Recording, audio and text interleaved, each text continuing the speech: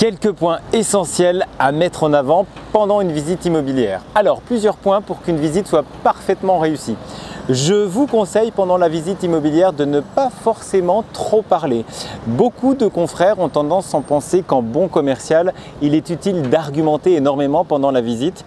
Je vous conseille au contraire d'accompagner votre client dans les différentes pièces, mais en argumentant plutôt lors du débriefing.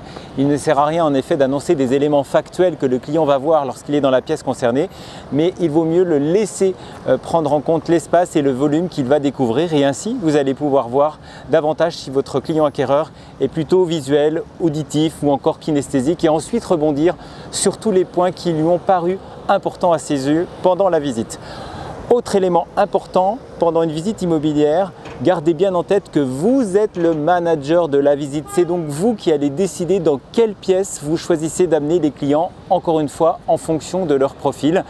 Je vous conseille pour ma part d'emmener le client directement vers ce qui lui concerne le mieux, c'est-à-dire la pièce ou le jardin, pourquoi pas, qui l'intéresse davantage. Ainsi, les premières secondes de la visite sont privilégiées et on sait que le coup de cœur peut intervenir justement pendant ces premières secondes.